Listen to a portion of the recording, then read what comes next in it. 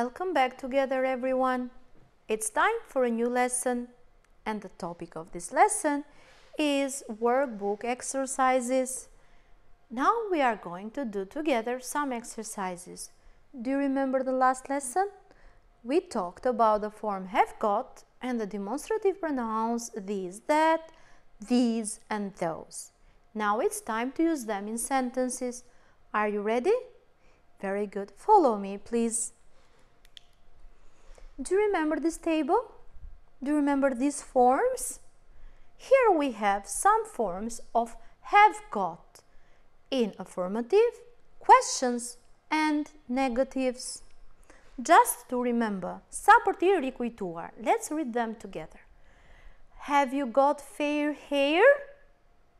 And this is a question. Have you got a fair hair? Yes, I have. Or yes, we have. No, I haven't. No, we haven't.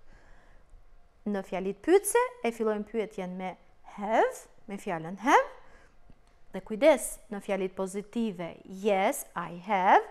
Në fjalit negative, no, I haven't.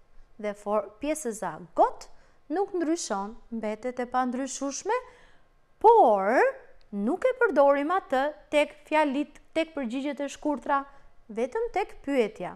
Dhe një herë bashk. Have got, have you got?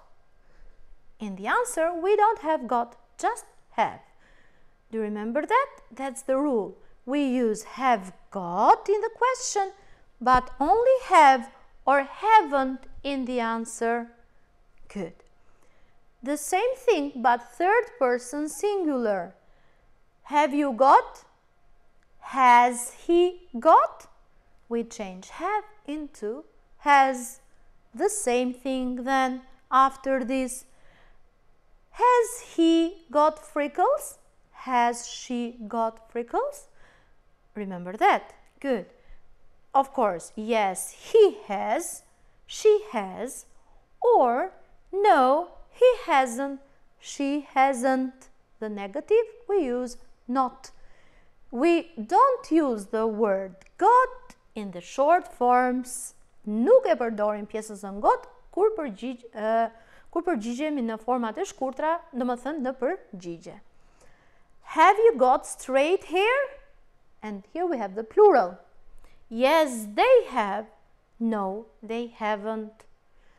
Pra kujdes dhe njëherë në fjalit pyetse. Përdorim have, vendoset për emri në mes, pasaj pjesës got, por kur përgjigjemi, përdorim vetëm pjesës në have, apo has si pas rastit.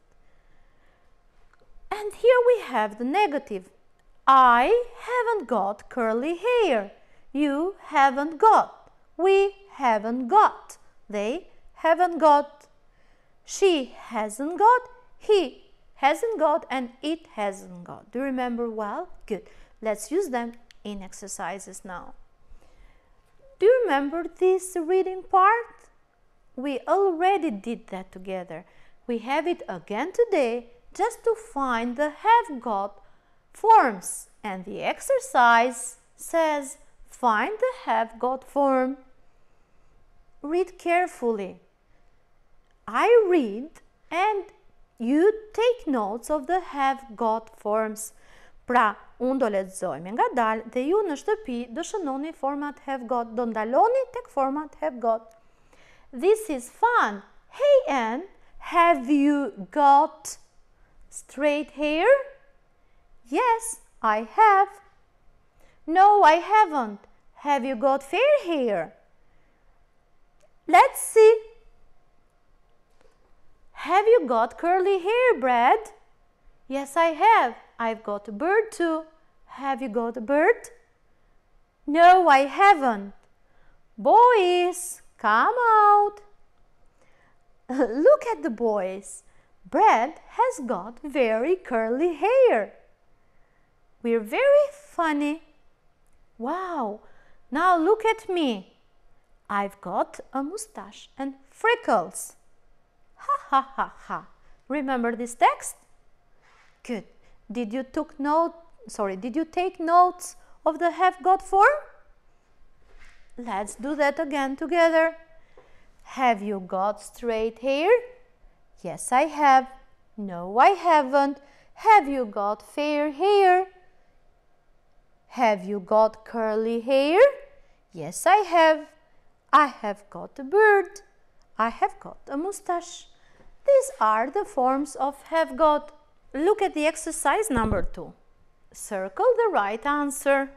Look carefully at the pictures and let's read the questions together. Has she got fair hair? Fair hair? Flok me të hapur. Uh-huh. Yes, she has. Has she got straight hair? This is the straight hair. I've got straight hair. What about the picture? No. No, he hasn't. Has he got curly hair? Uh-huh, yes. Yes, he has got curly hair. Look at this picture.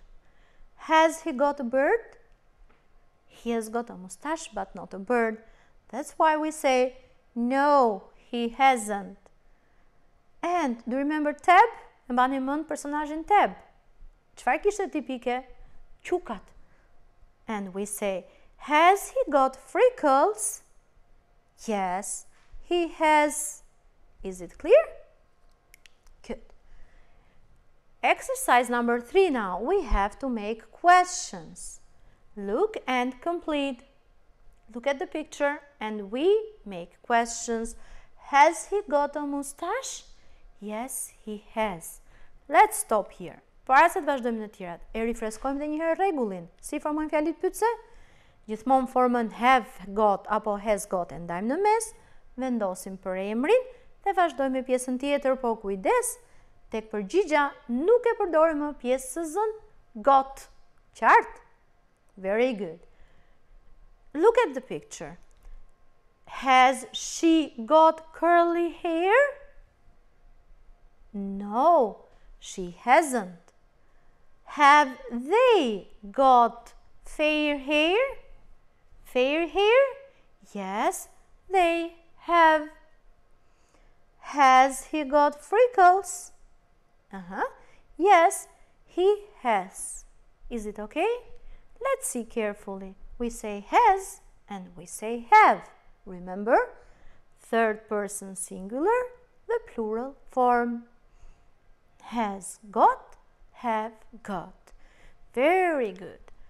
Now it's your turn. Try to make some sentences using the forms of have got.